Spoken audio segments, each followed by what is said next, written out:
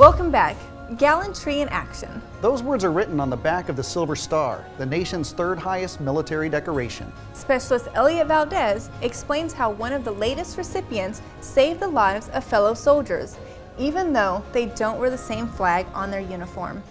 On April 2, 2010, Chief Warrant Officer Jason LaCrosse and his crew in a medevac helicopter and their assault helicopter received the call that German soldiers were pinned down in an ambush with 200 Taliban fighters in a village in Afghanistan and that eight were severely injured.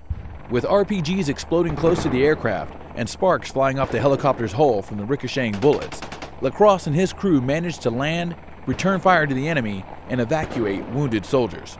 He went on to do the same thing three more times. Uh, I would do it for anybody, and any of the guys in my company would, would do it. They'd be there for anybody. It's not about the awards, the medals, the recognition. It's about saving lives, and that's what we're there for.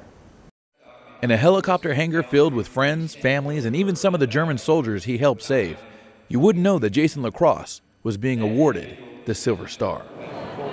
Hands are getting clammy already. I hate that. There's been 104,000 Silver Stars since they first came out in 1918. And now Chief Warrant Officer LaCrosse is added to that list.